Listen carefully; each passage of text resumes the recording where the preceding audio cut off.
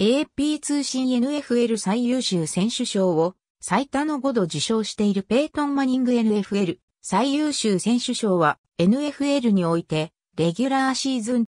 現在 NFL 最優秀選手賞を授与している団体は AP 通信、プロフットボール記者協会、スポーティングニュースである。最初に制定された最優秀選手賞は1938年から1946年まで NFL が授与した上階カートロフィーである。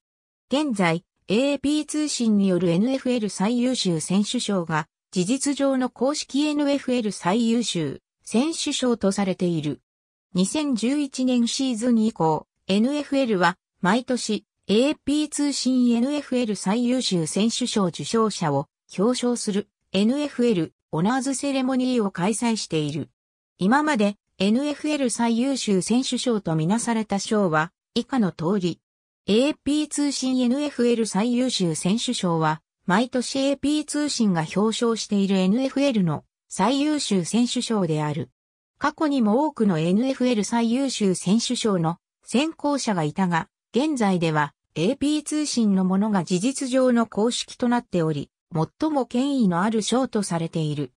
2011年以降毎年、NFL では AP 通信 NFL 最優秀選手賞受賞者を表彰する NFL オナーズセレモニーを開催しており、NFL 最優秀攻撃選手賞や NFL 最優秀守備選手賞やなど他の AP 通信賞と共に受賞者を表彰している。最多受賞者はペイトン・マニングの5度、続いてジム・ブラウン、ジョニー・ユナイタス、ブレッド・ファーブ、トム・ブレーディ、アーロン・ロジャースの各3度である。ジョニー・ユナイタス、バート・スター・オージェイ・シンプソン・マーカス・アレン・ブレッド・ファーブ、トム・ブレーディ1948年から1969年に表彰を行った。1970年からは AFC、NFC 最優秀選手賞、1975年からは AFC、NFC の最優秀守備選手賞を表彰している。